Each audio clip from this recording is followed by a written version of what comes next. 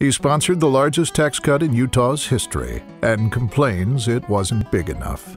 He always rounds numbers down. He bought a turtle for a family pet because it eats less. He's Republican John Dougall for state auditor, the most frugal man in the world. I'm John Dougall. My opponent has been state auditor since 1995. It's time for a healthy change. Vote frugal. Vote John Dougall. Paid for by John Dougall for state auditor.